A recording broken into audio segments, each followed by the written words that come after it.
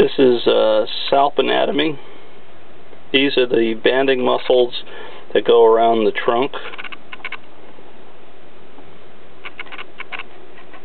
You can see them as they wrap.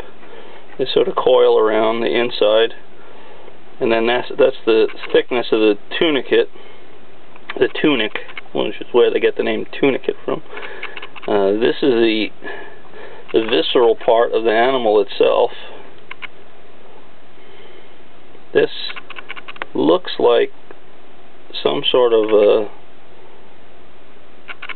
uh, it was before I could see stuff traveling in it. This may be the opening to the front how it V's out and goes to the front of the chamber the barrel. Um, more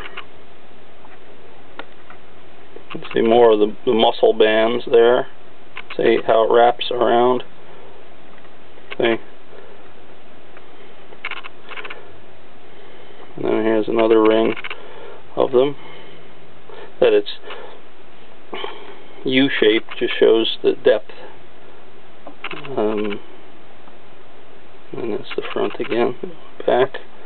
This is that other channel, which I don't really know too much about the channels, that there's two of these things. Maybe they're struts and then there's this appendage thing here which I don't know if that, if that represents gonads or something which a lot of times that, that little lump there might be something to do with reproduction. Can't quite make out a heart beating anywhere. Like the other tunicates. But these are the ones that swim around free and there's the the end.